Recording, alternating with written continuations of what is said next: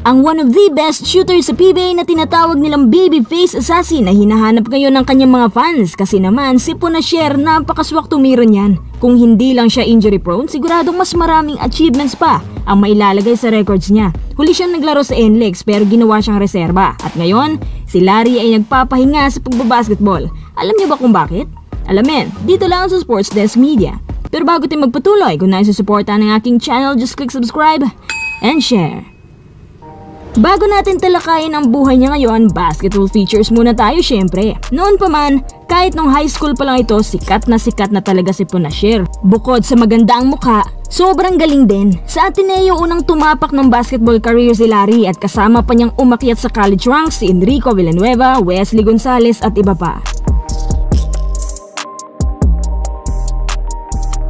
Year 2000 under coach Joe Lipa, consistent ang minutes na binibigay sa kanya coming off the bench. Sa taong ito ang Ateneo ay may twice to beat advantage pero dalawang beses ding tinalo ng FEU kaya kailangan tuloy nilang makalaban ng Lasal sa best of 3 series. 2001, si Larry ang star player ng Ateneo kasama si LA. Ang record ng team, 10 wins, 4 losses. And again, nakatwice to beat ang Ateneo, tinalo nilang FEU at natalo naman sila ulit sa Lasal. Sa naalala ko, 30 points si LA noon pero talo pa rin. Sa mga summer games, ang Ateneo noon ay sumali sa PBL kasamang Happy at nagkampiyon. Sa 65th season ng UAAP, ang caliber coach na si Joel Banal ay mataas ang expectation sa kanila. Pero sa first round ng tournament, medyo hindi magandang record nila. 4 wins, 5 losses. Ang Ateneo community nawala na ng pag-asa. Pero mga quiz, lumaban ang Ateneo at nakakuha ng 5 straight wins habang ang Lasal noon hindi matalo-talo ng ibang teams. Sa finals kalaban nila Archers, si Larry ang bida sa game 1 scoring 11 points including 3 3 points at 6 rebounds plus may dalawang blocks pa siya kay Mark Cardona.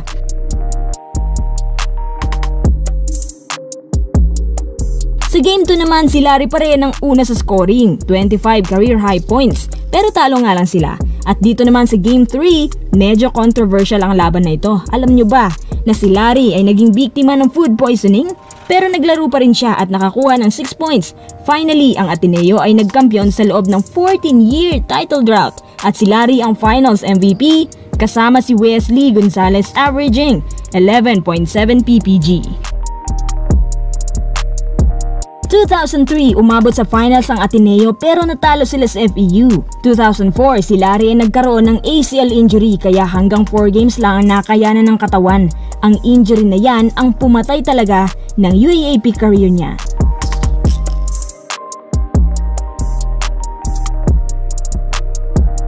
2005, si Larry ay nagpa-drop sa PBA 14th overall pick selected by Barako Bull at sa PBA dito na siya pinangalan ng Babyface Assassin. Sa 2005 to 2006 season, sobrang ganda ng debut niya sa Red Bull, napaka-consistent, pure shooter, kaya naman nakuha niya ang Rookie of the Year award sa taong ito. 2006 to 2007 season, naglaro siya ng 55 games sa Barako tapos napasama siya sa All-Star team. 2007, malapit nang mag-expire ang kontrata ni Larry at kinuha siya ng San Miguel. Dito, reunited siya sa kanyang mga kasamahan sa Ateneo. Yung San Miguel po mga kuys, yun yung naging Magnolia Beverage Masters. Pero hindi naman siya nagtagal dito.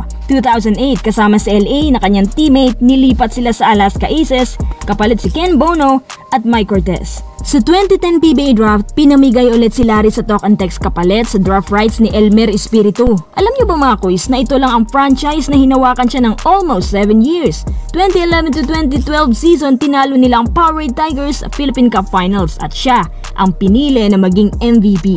Sa taon ding ito, binigay sa kanya ang Mr. Quality Minutes. Hanggang sa dumating na ang mga araw na lagi na siyang injured at hindi na masyadong nagagamit ng TNT.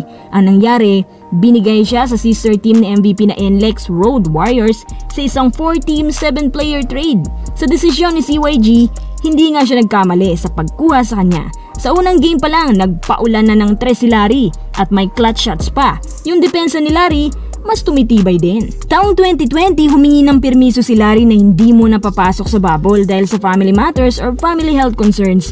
2021, bumalik si Larry at nagpakondisyon pero sinabihan siya ni CYG na puno ng roster so ang ginawa niya, naging mentor niya lang siya sa bench kasi ang Alex, madami na rin young talent so ginusto niya na hindi na lang maglaro. Para manatiling kondisyon ng katawan, nilagay siya ng Elex sa 3x3 under Cavitex squad. Sa edad niyang 39, siya ang ginawang kapitan ng Cavitex at so far, maganda pa rin naman ang performance niya. Teka mga quiz, ano na ngayon ang buhay ni Larry Punasher pagkatapos maglaro sa 3x3 League?